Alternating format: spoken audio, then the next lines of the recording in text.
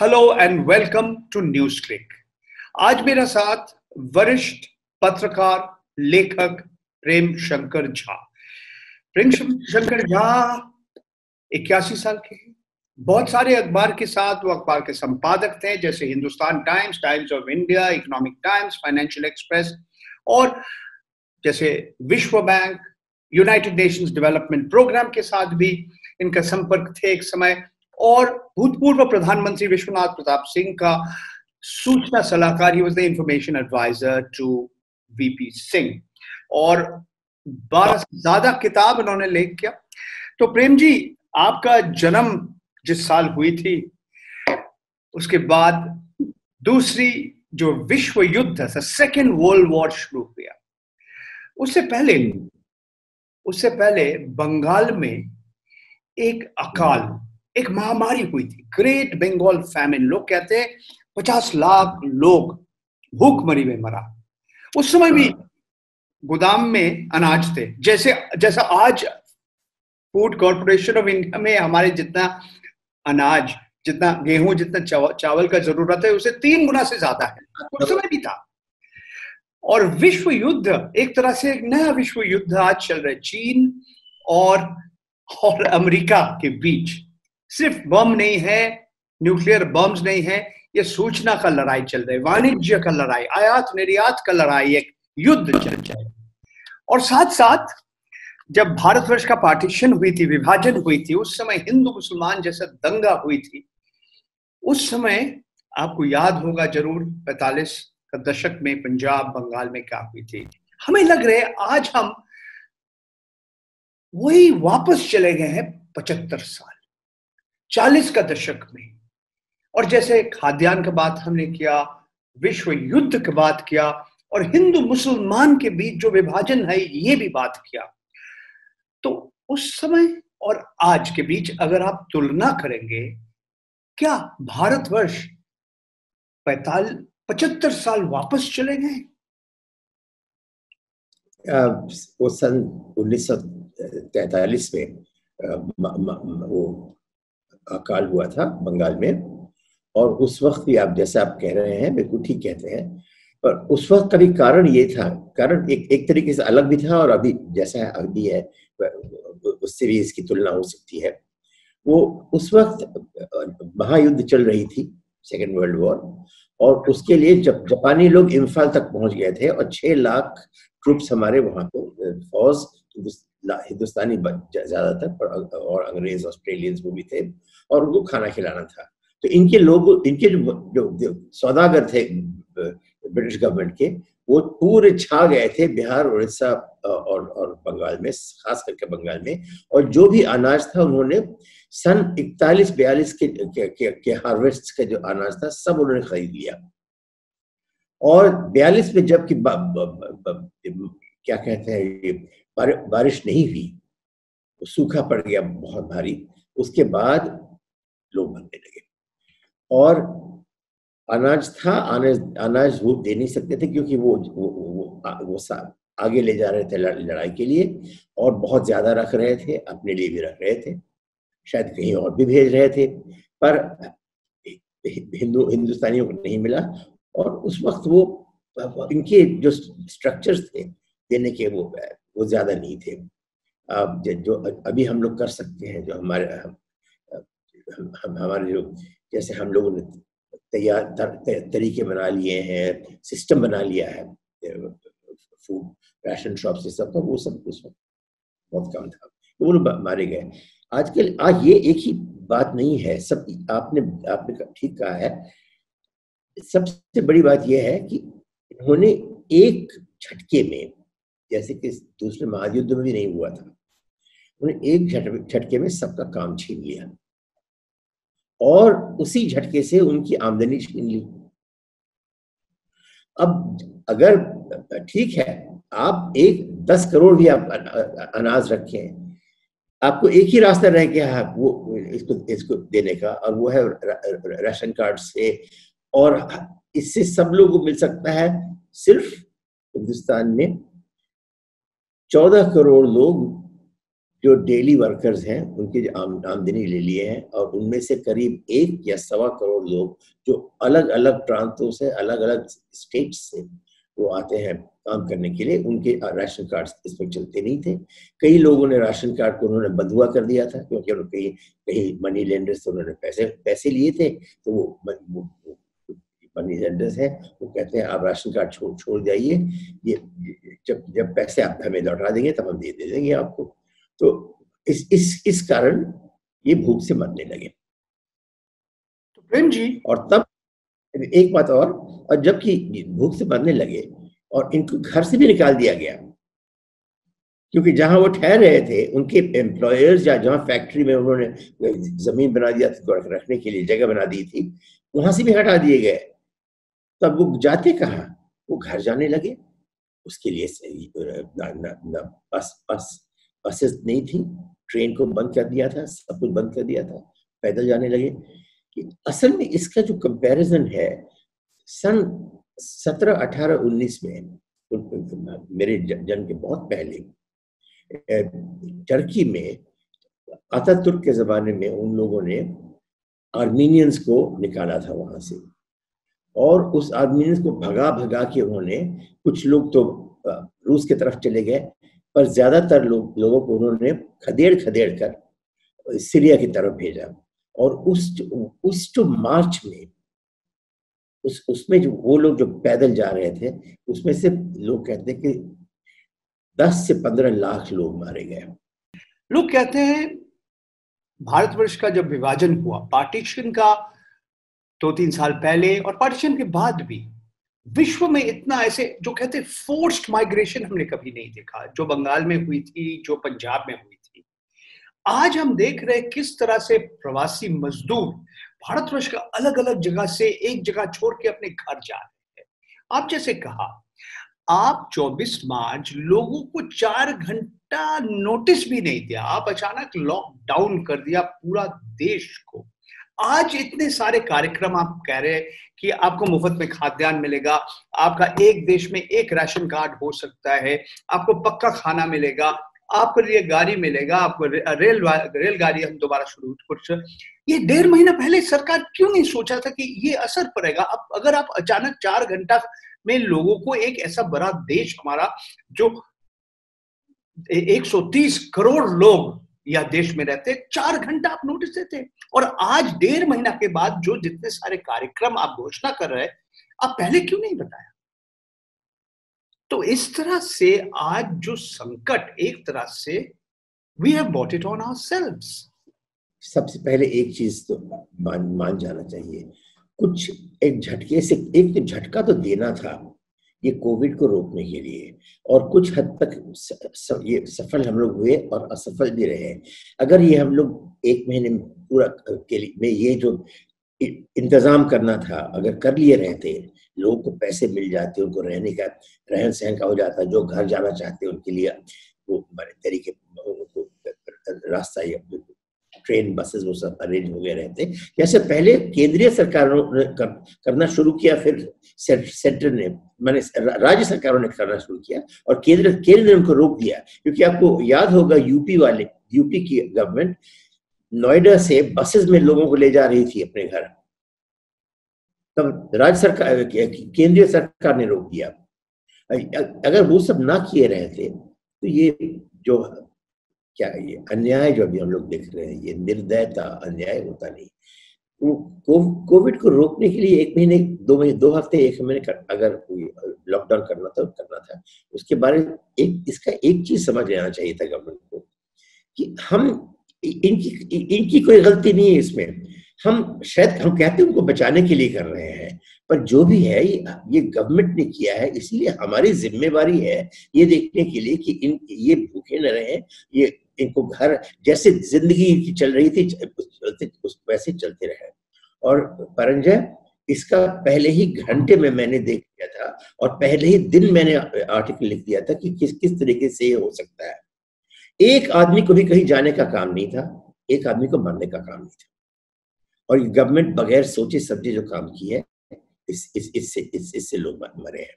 अगर आप चाहते मैं आपको बता सकता हूँ ये ये ये ये ये ये ये क्या कर सकते थे उसी वक्त? नहीं सुनिए जो अभी हो गया आप जानते हैं मैं जानता हूँ। आज सरकार कह रहे बहुत कुछ कि हम ये राहत के लिए आपको ये मिलेगा ये देगा वो आ, बहुत सारे घोषणा किया हमारे सरकार ने। मेरा सवाल है वो क्यों नहीं सोचा था कि अचानक अभी आप इस तरह से एक घोषणा करेंगे कि चार घंटा के बाद लॉकडाउन हो जाएगा इसका असर नहीं पड़ेगा? अब कैसे ऐसे सोचा तो देखिए देखिए जरा बस मुझे कुछ कहने दीजिए मैंने सुन लिया आपका। मैं मैं जो जो आपने प्रश्न पूछा था वो मैं समझ गया हूँ और दोहराने का कोई काम नहीं है। देखिए असलियत ये है कि एक घंटे में जो अगर मुझे समझ आ सकता था क्या क्या कर सकते हैं इसमें सरकार क्यों नहीं क्यों नहीं समझी मैं ये कह, मैं कह नहीं सकता हूँ। पर मैं यही कह सकता हूँ क्या हो सकता था उसके बाद हम लोग देख सकते हैं क्यों नहीं हुआ कैसे नहीं हुआ। इतना ही करना था सरकार को। सब कारखाने, सब दुकानें बंद हो रही थी, पर बंद होने से इनकी आमदनी बंद हो जाती है, पर इनके खर्च नहीं बंद होते हैं। और जो जो आप मजदूरों के बारे में बात करते हैं, वो भी, वो एम्प्लॉयर्स की भी वही हालत हो जाती है। मजदूरों को आप आमदनी बंद कर दिए हैं और खाने को कुछ नहीं है। एम्प्लॉयर्स को कि आप आमदनी बंद कर दिए हैं। और वो अपने जो इनके जो जो जिन्होंने ऋण ले लिया है उसको दे, सूद देना है पैसा लौटाना है।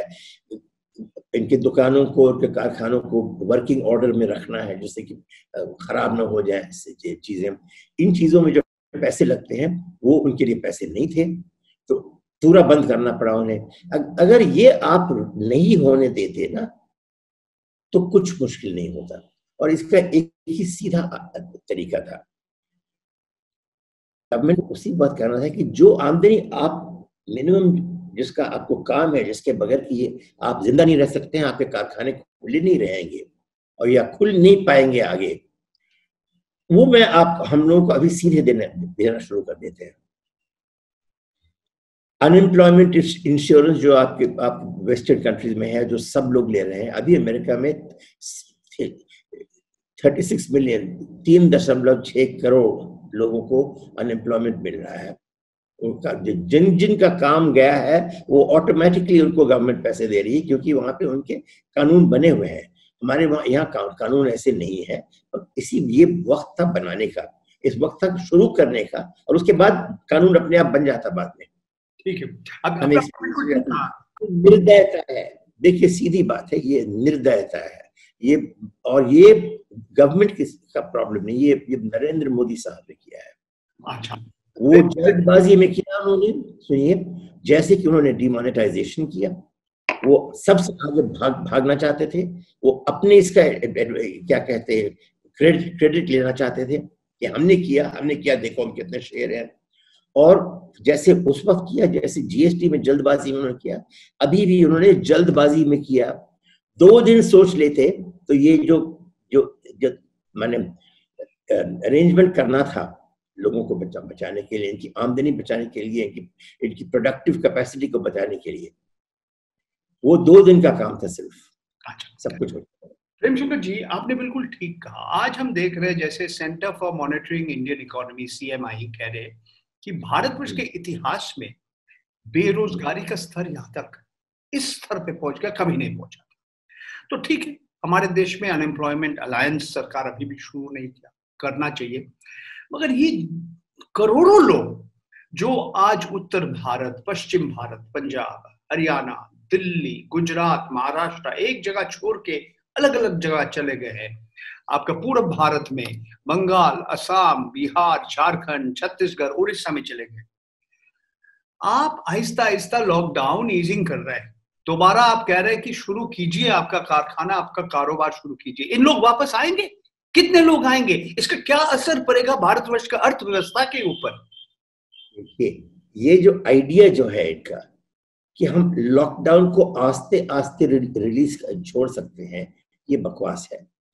ये हमारी इकोनॉमी जो है इकोनॉमी को समझिए क्या है, कौन सी चीज़ है ये? ये जैसे कि हमारे शरीर है ना, एक है इसमें खून बहता है आर्टरीज में वो खून जाता है सब गंदगी निकालता है और वेन से लौट के हार्ट में वो और लंग्स में साफ़ होकर फिर जा, जाता है। अब ये ट्रांसपोर्ट मैकेनिज्म्स हैं और हमारे पूरे पूरे शरीरों में शरीर में और ये आर्ट ये आपके इकोनॉमी में ट्रांसपोर्ट मैकेनिज्म्स आपके बस ट्रेन ठेला गाड़ी वैन काट जो भी जिसमें भी वो है। अगर आप लोगों को मूव नहीं करने देंगे अगर ये सब बंद कर देंगे तो आपने शरीर को मार डाला। ये खून कहीं नहीं पहुंचेगा। वही हुआ है। और मैं क्यों आमदनी के बारे में बात कर रहा हूँ कि आमदनी परचेसिंग पावर रकम इनकम आमदनी ये इकोनॉमी का और, और मुल्क का खून है। और इस खून को उन्होंने रोक दिया। एक आए एक जैसे आपने कहा चार घंटे के केस में वो, वो रोक दिया। उसके बारे में सोचे नहीं कि हम अगर हम इसको रोकना चाहते हैं कर, रोकना भी है हमें तो लोगों को ज़िंदा कैसे रखें? इसके बारे में सोचा ही नहीं क्योंकि इनके लिए नरेंद्र मोदी जी के लिए लोगों की, की ज़िंदगी उनकी खुशहाली से कोई मतलब नहीं है। अपने खुशहाली से बहुत मतलब है। प्रेम जी, इस महामारी के दौरान, इस आर्थिक संकट के दौरान, भारतीय जनता पार्टी का एक हिस्सा, राष्ट्रीय स्वयंसेवक का एक हिस्सा, ये सांप्रदायिक विष अभी भी फैला रहे लोगों को कोशिश किया बताने के लिए ये तबलीगी जमात का जो एक कार्यक्रम हुई थी, ये लॉकडाउन के पहले, इसीलिए आज पूरा देश में यह महामारी फैल गया। तो इस तरह से इस समय भी आप देख रहे किस तरह से एक लोग, कुछ लोग एकदम सांप्रदायिक शक्ति जो है हमारे देश में, वो कैसे, क्या, कैसे काम कर रहे हैं? क्या हम लोग वापस चलेंगे पैतालीस साल जब जब भारतवर्ष और पाकिस्तान जो जो विभाजन हुई थी, जब हिंदू मुसलमान का दंगा हुई थी, क्या हमारा देश वापस चले गए सत्तर साल फिर? उस वक्त क्या हुआ था, ये ये जो सरकार है, मोदी सरकार और भाजपा और ये जो हिंदू राष्ट्र, राष्ट्रवादी है, ये लोग, ये एक ही चीज़ जानते हैं, जबकि कुछ, कोई कोई उनका प्रोग्राम या प्लान या कोई जो चीज़ करना चाहते वो होता नहीं है ना। तब वो सांप्रदायिकता पे पहुँच जाते हैं। डिमोनेटाइजेशन जब हुआ था आपको याद है? उस वक्त उन्होंने दो बातें कही कि ये अमीरों को लगेगा हम अमीर को ठीक कर रहे हैं इनसे पैसे ले लेंगे। और बाद में उन्होंने उन्होंने यही सांप्रदायिक बात को पाकिस्तान आतंकवादी जाली नोट का इस्तेमाल कर रहे हैं। हाँ बस काउंटरफीट काउंटरफीट है बिल्कुल एग्जैक्टली पाकिस्तानी उनको रोकने के लिए ये कर रहे थे। कमाल बात है। यहाँ पे तबलीगी जमात का, का इन्होंने जब उन्होंने इनकी बात इसकी बात की लोगों ने चर्चा की उस वक्त हमारे दिन में दो या तीन सौ से केसेस से ज़्यादा बढ़ से बढ़त नहीं हो रही थी कोविड की दिल्ली में। अब चार हज़ार हो गई है। तो तबलीगी जमात का कहाँ हाथ कहाँ रहा ये ये मामूली से मामूली लोग ये समझ गए हैं। जो ये लोग पाकिस्तान का नाम लेके कर सकते हैं वो कोविड का नाम लेके नहीं कर सकते हैं। सीधी बात है। और इसमें आप थोड़े थोड़े से अपने अपने हिंदुस्तान अपने हिंदू मुसलमान हिंदुस्तानी भाइयों के, के, के आप बुद्धि पर आप थोड़ा सा भरोसा रखिए। कि ये हम लोग सब समझ गए हैं कि ये इसमें सांप्रदायिक कोई भाव या विषय का जगह नहीं है। ये सिर्फ़ गलतियाँ हैं जिसमें कि आप गवर्नमेंट जैसे मैंने कहा तीसरी दफ़ा हुई है। पहले डिमोनेटाइजेशन उसके बाद जीएसटी और अब ये। लॉकडाउन जबकि वो जल्दबाजी में आप दिखावे के लिए कि हम सबसे पहले कर रहे हैं हम सबसे बड़े हैं हम सबसे काबिल हैं ये दिखाने के लिए आप करते हैं बगैर सोचे हुए और इससे लोग लोग मरना शुरू करते हैं। प्रेम जी इस सारे जो हो रहे आज इसका कोई राजनीतिक असर पड़ेगा बिहार में अक्टूबर महीना में चुनाव होने वाले हैं। आने वाले साल में बंगाल असम तमिलनाडु केरला में विधानसभा चुनाव हो रहे हैं। मगर सरकार तो अभी भी चार साल है अभी सरकार के। चार साल तो है तो ये समझ गया। कोई राजनीतिक असर होने वाले हैं? आपका क्या लग रहा है? देखिए राज्य सरकारों में जो इलेक्शन होंगे ना वहाँ पे जो भी सरकार अभी अभी उसके सत्य में है उसका उसका फ़ायदा होने वाला है। क्योंकि राज्य सरकारों में लोगों ने वाकई काफ़ी बहुत काफ़ी कोशिश किया है। पर जो केंद्रीय सरकार का, देखिए केंद्रीय सरकार का जो इलेक्शन है, वो तो चार साल, अभी से चार साल आगे है। और चार साल में मोदी जी इतनी चीज़ें निकाल सकते हैं। आप हिंदुस्तानी, आप हमारे ह्यूमन नेचर को आप सब समझिए। जब, जबकि कोई संकट से हम लोग निकल जाते हैं ना तो सबसे बड़ी चीज़ है कि हम उसके बारे में सोचना नहीं चाहते हैं। तो भूलना चाहते हैं। और यही, इसी चीज़ से तो हम लोग सरवाइव करते हैं। अगर अगर सब चीज़ का हम लोग बदला लेना चाहते तो, तो, तो मनुष्य की जाति अभी तक डेढ़ हज़ार डेढ़ हज़ार एक सौ डेढ़ लाख साल ज़िंदा नहीं रहती। तो और चार साल में देखिए चार साल में इस कोविड पर का बात करते करते कुछ होने वाला नहीं है। कांग्रेस या ऑपोजिशन को इकट्ठा होके इनकी इनकी गलतियाँ इन, जैसे आर्थिक बर्बादी इन्होंने की है उस इन इन चीज़ों के बारे में अगर बात करें तो ठीक रहेगा। और उस और अगर ये लोग ऐसे प्रोग्राम्स नहीं निकाले अभी जिससे कि वो जल्दी से जल्दी इकोनॉमी की रिकवरी हो सकती है तब चार साल इकोनॉमी अपने नहीं रिकवर करेगी। अगर इसको दो साल लगे रिकवर करने में अब अभी देखिए मैंने आपको आप आप, आप बेरोजगारी की बात कर रहे थे पहले। ग्यारह दशमलव चार करोड़ लोग पिछले हफ़्ते तक बेरोजगार हो चुके थे जिनके पास रोजगारी थी। इनमें से डेली जो डेली वर्क वेज वर्कर जिनको रोज अगर आज काम नहीं किया तो कल कल भूखे मरना था। बिहारी लोग नब्बे लाख थे इक्यानवे लाख इनमें ये थे। इक्यानवे लाख नहीं नाइन्टी मिलियन नौ करोड़ मैं क्या कह रहा हूँ? नौ करोड़ अब इनके लिए कुछ नहीं किया जा रहा है। अभी जो तीन दो पैकेट हुए और एक और होने वाला है एक पहले भी हुआ था इसमें सिर्फ़ कर्जा दिया जा रहा है लोगों को। और अगर डिमांड नहीं है अगर लोगों के पास आमदनी है नहीं, नहीं, नहीं है खरीदने के लिए तो आप जो प्रोड्यूसर्स हैं उनको आप कर्जा देते जाइए वो लेंगे नहीं।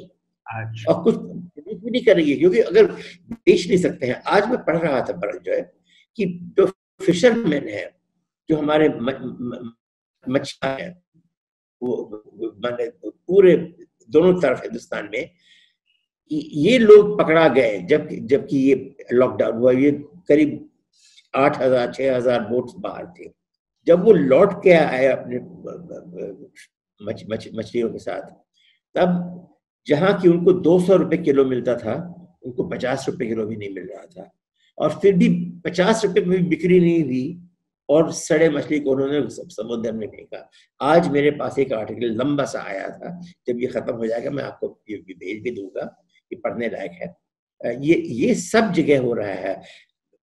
जब फल लोग फल लेके और और, और वेजिटेबल्स लेके जब आने लगे तो पहले लॉकडाउन का थोड़ा ईज हुआ था मार्केट में कोई खरीदने को नहीं था।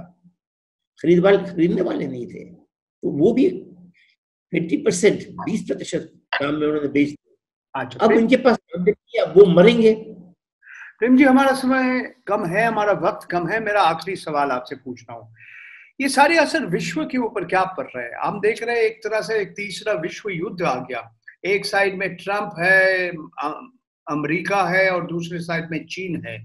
ये जो तीसरी जो विश्व युद्ध है, महायुद्ध है, ये वाणिज्य के ऊपर लोग लड़ रहे हैं। सूचना के ऊपर, सूचना प्रयुक्त इंफॉर्मेशन टेक्नोलॉजी वॉर ये कहाँ तक जाएगा?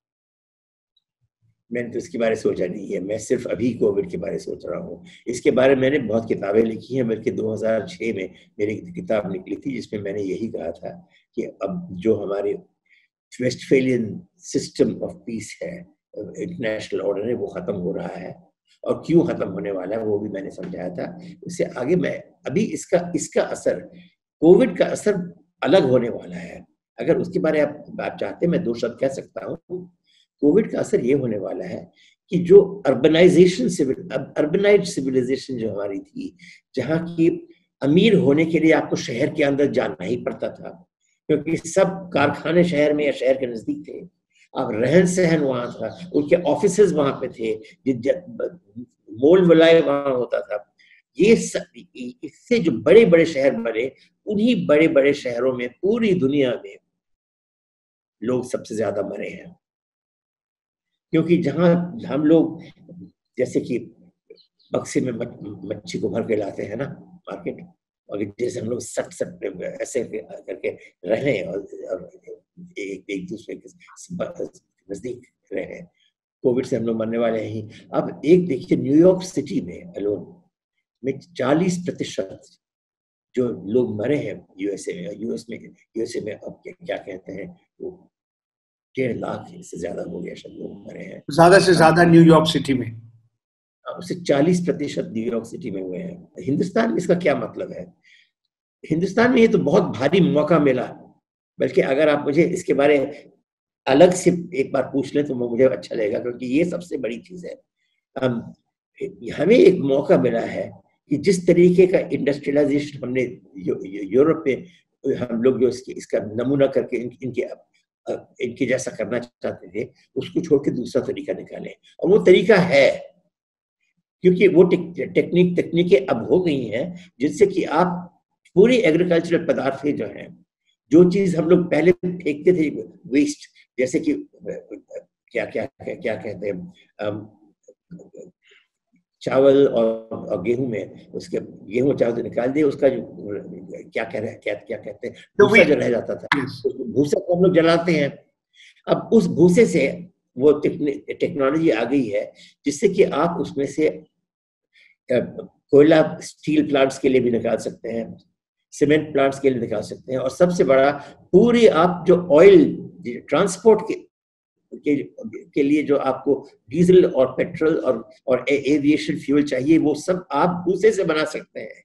और इस, इसका दाम भी ज़्यादा नहीं है। Okay okay. इसको रोकने वाले थी जिनके पास जिनके पास ऑयल था उनके पास शक्ति है दुनिया में। रोकने वाली शक्ति वो रोकने वाली शक्ति टूट रही है। और हम चाहते हैं तो हम लोग हिंदुस्तान को जो भी पूरे हम इंडस्ट्रियलाइजेशन को एनर्जी प्रोडक्शन को हम लोग ऊर्जा प्रोडक्शन को हम लोग गाँव में ले जा सकते हैं और गाँव में वहीं पर एम्प्लॉयमेंट मिल जाएगा। और जो जिस तरीके से हम लोग जा रहे हैं उसको वो वो, वो छोड़ देंगे और अगर ये कर सकते हैं तो इससे हम इससे फ़ायदा अभी भी निकाल सकते हैं। पर मोदी हाथ में ये नहीं है।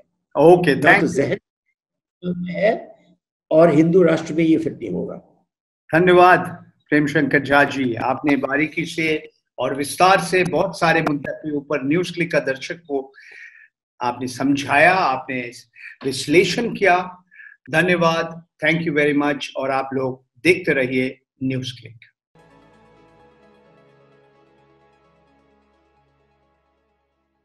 you